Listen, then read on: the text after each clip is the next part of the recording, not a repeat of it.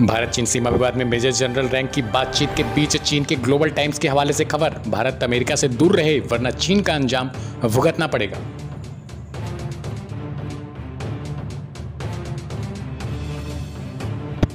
Supreme court ने media report का हवाला देते हुए गुजरात, पश्चिम बंगाल, दिल्ली, महाराष्ट्र समेत तमिलनाडु सरकार को लगाई फटकार। मरीजों और शवों का करे ठीक से देखभाल।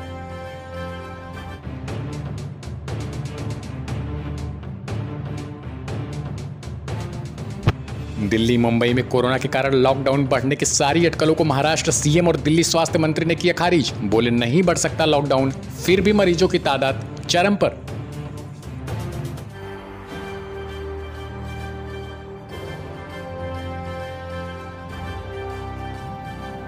वायरस को लेकर पीएम मोदी एक बार फिर 16-17 जून को सभी राज्यों के सीएम के साथ वीडियो कॉन्फ्रेंसिंग के ज़रिए करेंगे बातचीत।